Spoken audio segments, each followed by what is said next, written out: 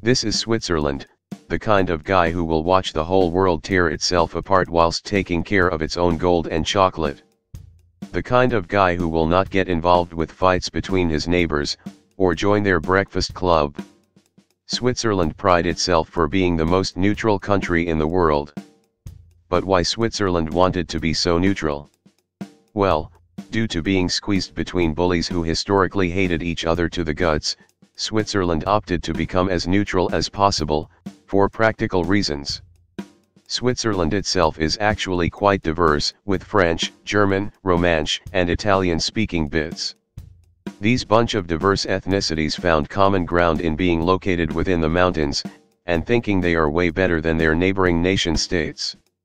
Switzerland became Switzerland when these cantons said screw it, we will do our own thing because the Holy Roman Empire decentralized like nobody's business. Switzerland kept the original name Helvetia, because that was what the Romans used to call the Celtic people who originally inhabited the Swiss Alps long time ago, even though the Swiss cantons themselves had become quite German. The Swiss Confederation later grew bigger, incorporated more Alpine communities, eventually gaining more autonomy within the Holy Roman Empire. The Swiss Confederation wanted more, and Milan looked quite tasty but the Swiss expansionist ambitions was put to an abrupt stop by the French in the Battle of Marignano. Since then, the Swiss pursued a policy of neutrality, the foundation of modern-day Swiss neutrality policy. The Swiss Confederation was famous for its mercenaries, the Pope approves.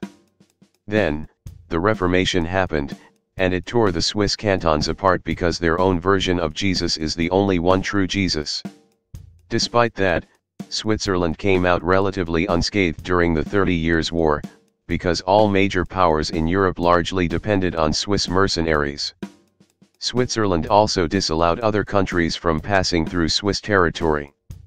This was an important step in the development of Swiss neutrality policy. The Peace of Westphalia confirmed Switzerland's independence from the Holy Roman Empire. With no external enemies, Switzerland beat itself up again, and later got invaded by Napoleon.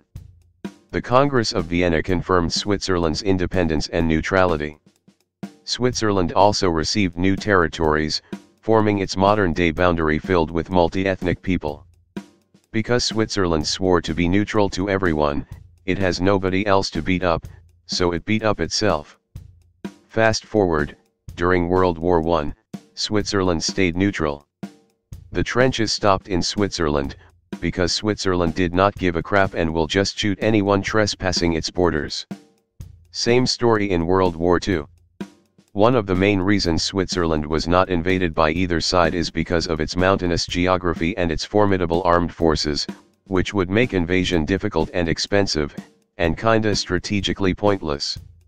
Because Switzerland was relatively unharmed during the world wars, it became a haven for refugees, revolutionaries, spies, and people to hide money. Switzerland did not care who the clients were, it's all good money. After World War II, Switzerland went hardcore on neutrality, became the neutral ground for the divided Europe, could not be bothered to join the European Union, joining the United Nations very late into the game, being annoyed by Austria who claimed to be neutral, and here we are today. So how neutral is Switzerland? On paper, very. In practice, quite pro-Western for practical reasons, but not afraid to chart its own path because it has huge leverage by hiding everyone's dirty secrets.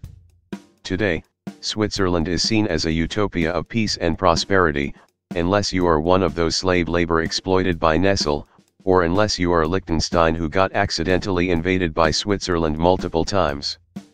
The lesson here is, back your claim of neutrality with brute force, not just mere talk, sorry Belgium. Thanks for watching.